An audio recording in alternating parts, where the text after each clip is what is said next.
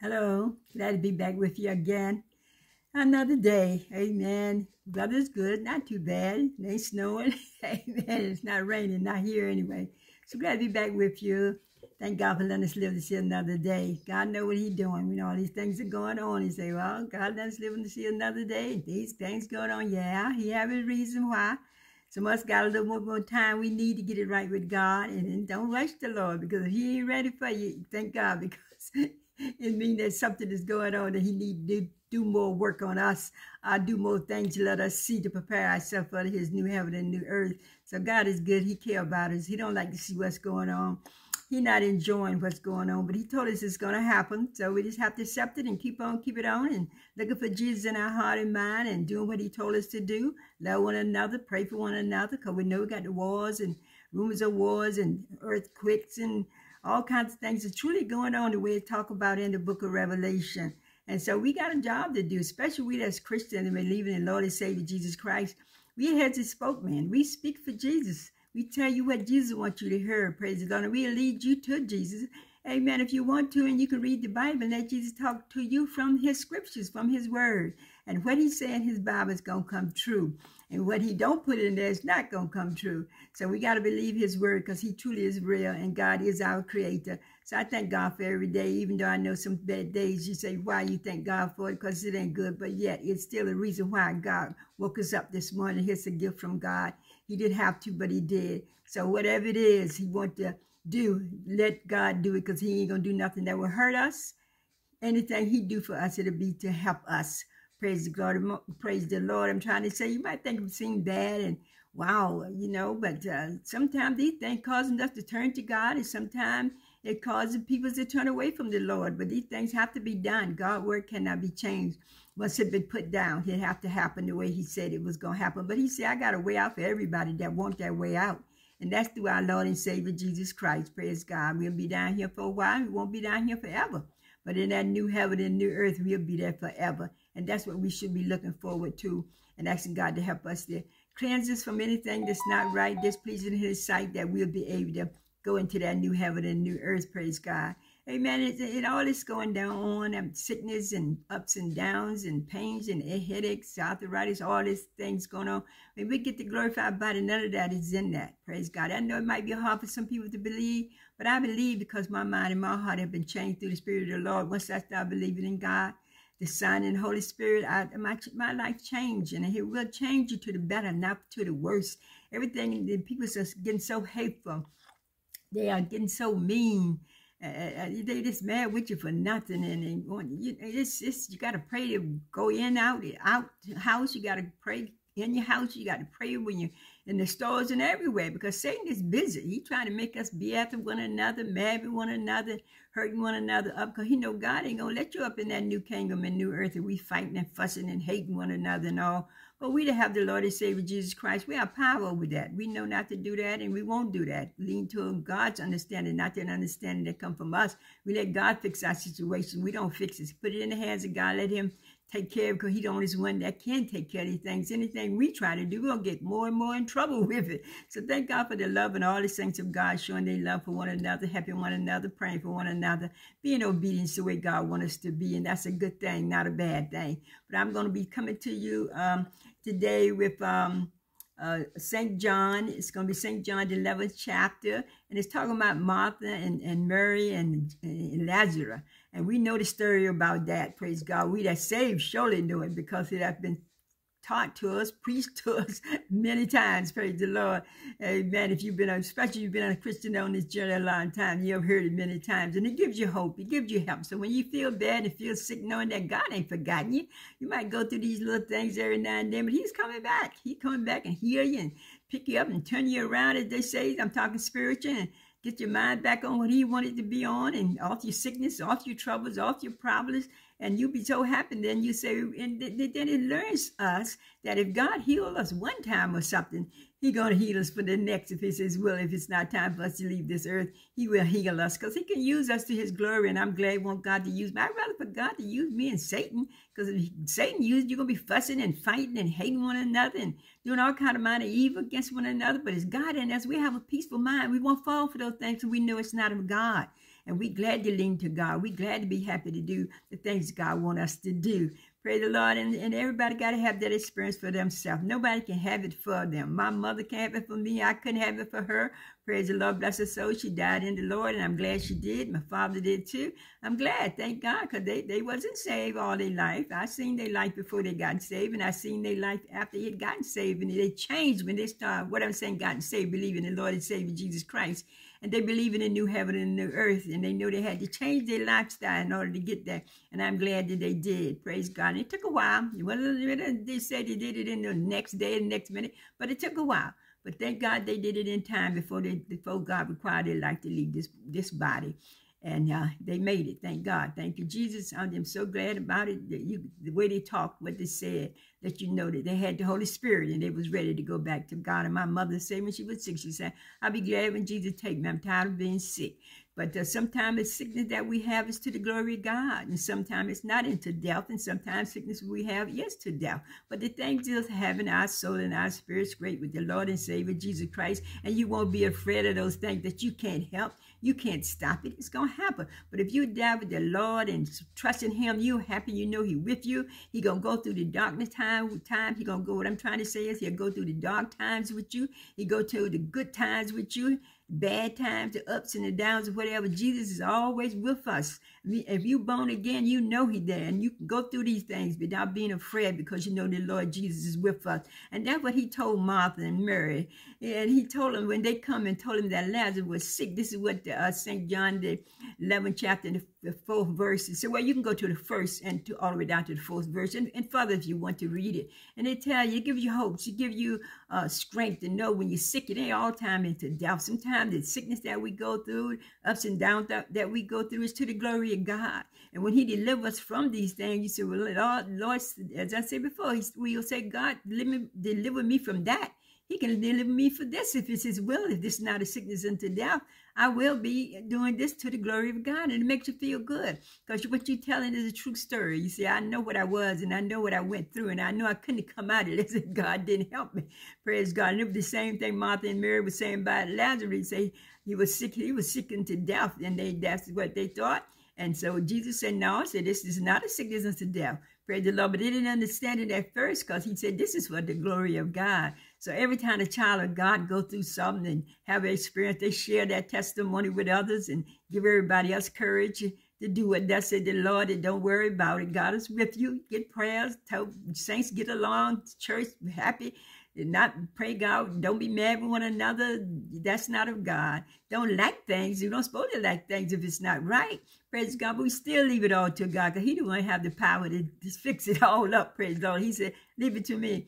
I'll fix it, whatever it is. So through these trials and tribulations that we have, don't lose your heart. Don't lose your faith in God. It's, uh, it's to the glory of God. Let him be magnified through us, praise the Lord. Those that especially saying things of God. Praise the Lord. And you can pray for those that don't believe in God, and God will heal them just by your prayers because you're a believer. You trust in God. You're living by the Spirit of God in you. You pleasing God. He'll use you to his glory, but we don't get the glory. God's get the glory. So I didn't do it. God did it. All I did, this was a vessel being used by God. That's what we are, a vessel being, what I'm trying to say, we are a vessel being used by God. So read St. John, the 11th chapter, 1 to the 4th verse, and more if you want to. It'll really, really help your heart because you might have somebody that's sick in your family. And you know, sometimes we go to nursing homes and different hospitals and things, and we pray for people. Then sometimes you go there to visit your family member, and they don't know you praying for them. The nurses, the doctors, all of them praying them. God will help them do their job and help them to get through because you know the enemy is fighting them. And if they don't, God don't stand up for them, they will lose, praise God. And we can't beat oh, Satan. Only God can. We'll lose the fight. But with God in us and our prayers, we'll win the fight every time. He don't have no power over us no more. Thank you, Jesus. Since Jesus went to that cross and died on the cross for us and took the power of death and hell out of the hands of Satan. He can't do anything else. Now it's our time. Now it's up to us to believe in our Lord and Savior, Jesus Christ. I'm telling you, seeing all these things going on in this world, you wouldn't have much to tell me to, believe. I, but but I know I'm a believer already. But I, I, I didn't always been a believer. But when I'd heard, I started uh, something happened to me different in my heart and my mind. I was a young young girl. Praise the Lord, and I thank God for that. And He helped me and helped me and helped me all the way up until this day, still helping me. And He see fit to use me to His glory. I wouldn't be here today if it wasn't for for his glory, what I'm trying to say. I'm not doing it for me. I'm not doing to get no fame, fame and all that kind of stuff. I'm doing this to the glory of God, and I'm concerned about the ones that don't know God, that they need to know the Lord. My family, any family, need to know the Lord before it's too late because this world is not going to stand forever. And people are leaving this world day every day. Not no one, two people, but many, many people around the world. So much tragedy. And if there ain't a war going out in the country, there's a, a hurricane, a mudslide, a flash mud flood, all those different kinds of things, and, and, and volcanoes and different things is just happening around the world, everywhere. Nowhere you can go to get away from it. And the Bible say that it's to come a time where it's going to be nowhere you can hide. Praise the Lord, nowhere but in our Lord and Savior Jesus Christ. So let's continue that save, continue on with God, and you are not saved. We pray you get saved so you can hide in the Lord too. Won't be afraid of these things that are coming up on this world because we can't stop it anyway. Pray that we can't run from it. So, but anyway, let's run to Jesus. I'm so glad I have him. I'm so glad God seeing fit to use me for his glory to tell you about Jesus. Jesus loved you. He would never forsake you. He would never turn you away regardless of what you did. Not that it's right, but he would save you from it. If you godly sorry from, of it, he will save you from it. But if you enjoying these things and, and don't care and all that, then that's you in trouble and don't even know it. You're in big, big trouble. Don't even know it because Jesus is our only way out of happiness and peace out of this world when it come to an end. So I love you with the love of God in my heart. I'm going to say a short word of prayer to for everybody. Praise God. I love people because Jesus being in me. While Jesus wasn't in me, I'd probably be just like a lot of other people. Don't care about nobody but myself. I'm hurting people and causing all kind of trouble for other people's prayers, God. But God said trouble gonna come up on you too. Praise the Lord. And I'm telling you, if you ain't saved and got God when your trouble come up on you, he gonna overtake you and he gonna destroy you, destroy your mind, your, your everything. You won't you won't know you you, you won't know your right, your right from your left. You just be going, just like a wild horse with no nothing in its mouth to guide it. Holy Spirit guides and leads us and help us to be what God wants us to do. Without the Holy Spirit, we just just blabble on. We don't care about people's feelings. We don't care about our own feelings. We don't care about what, what happened to us. At least we say that. But once we get in trouble, we you find telling all kinds of untruth to get out of the trouble. So now you big and bad when you're doing the trouble, then stand up for it. But it don't work that way. Not if you're a sinner. You're gonna tell something ain't right.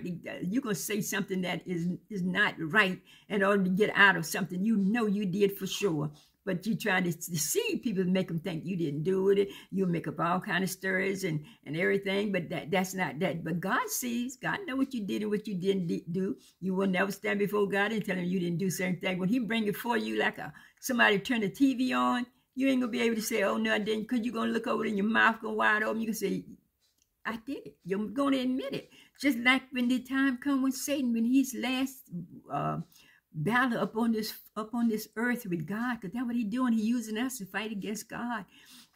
He's gonna be they said the angel's gonna bring him down to his knees and he's gonna admit that Jesus is the Son of God. And he ain't gonna have no choice, but it's not gonna get him out where he going. Where he going, gonna be punished forever and ever. He will never get out. Like when we go to heaven, you save and have the Holy Spirit and you die in the Lord, your soul will live forever. You will never have to worry about these things that we concerned about now in this world and in this body. Sickness feel good today, feel bad tomorrow. You know, we have to work, we have to do this, we have to do that. And sometimes we work so hard, we make ourselves sick. So we, we in that kind of a body. But thank God offers us a body through our body. I'm trying to say through our Lord and Savior Jesus Christ, we believe in him that we won't have to go through that. But we can't get it until we leave this world. We got we gotta leave this body. We gotta leave it, let it go back to the dust and go have get that new body that Jesus have for us, a spiritual body like Jesus and, and angels in heaven. Praise the Lord. I don't know what your time gonna be. I don't know what my time gonna be, but we know the world ain't gonna be forever. It is coming to a close, and I don't know how long it gonna be. Jesus said, I don't even know until God tell me it's time to go get my church because the word, the world is is at the end of its turn. Praise the Lord. But there's so much happening to it. It's cracking and the, uh, the hurricanes and like I said, the, the volcanoes uh, those and they say the Bible tells us that the world not going to be destroyed by water this time. It's going to be destroyed by fire. So when I hear about these volcanoes and the fires breaking out and going all over people and burning up people's homes and all out of control, the five the people's five people can't even control it. They getting hurt. Somebody losing their life and everything. Those are the signs. Those are the signs of that fire. I'm telling you all this war, all of the all this all the hurricanes and all that we see and all that going on, all that flooding and all, that's not going to make the world come to the end. It's those, it's those volcanoes, that fire This is going to be destroyed by fire this time. Praise the Lord. And then I'm, I'm telling you, I don't want to be among. And I don't want to be in the world when it happened. And I hope and pray that you don't either. Praise God. And short word of prayer for you. Pray God continue to bless you and keep you from all hurt, harm, and unseen danger. And bless your family, family, family, and your children in school, out of school, wherever they may be at, in college, Bless him, God, and have mercy upon them all, Lord Jesus. All of us need you, Jesus. Without you, we cannot make it, Lord. Thank you for having mercy on us, Lord. When we're in our sins, because we know we don't know no better. But Lord, when we do come to know better with your help through the Holy Spirit, then you expect us to do better, praise God, because the Holy Spirit will help us to do better if we want to, not even for the food that we eat. It is not good for us. Praise the Lord. Thank you, Jesus, that you help us even get through that and get over that. Something we think we can't get rid of, but God will help us to get rid of. We got to come to know Lord, we got to come to know our Lord and Savior Jesus Christ before it's too late. Praise the Lord. And look back over your life and see what a wonderful God He is and how much He took care of us when we know we didn't deserve it. But He's seen something in that in us that we didn't even see and know. And I thank God I found out that I'm a child of God and I love it. I love being being saved and, and love God and worshiping Him by faith and seeing Him work in my life and my family's life and other people's life and, and testify that He is He is real Praise the Lord, amen. I'm so glad about it. Pray like to touch, save, heal. Lord Jesus, have mercy on the wars and rumors of wars and all that going on. Lord Jesus, have mercy, Lord. I pray to bring peace for everybody, Lord Jesus. Please, Lord, I pray and ask in the name of the Father, Son, the Holy Ghost. In Jesus' name I pray. Amen and amen. Thank you, Jesus. Amen. Amen. Truly, God is so good to us. And ask God to help us to be good to one another. Pray for one another. Don't want to see nothing bad happen to one another. Let's not be evil against one another. God love us, and we want to love others to spread that joy and that love and that peace about God to others. Praise God. Amen and amen. Thank you, Jesus, for this day. Thank you, Jesus. Amen.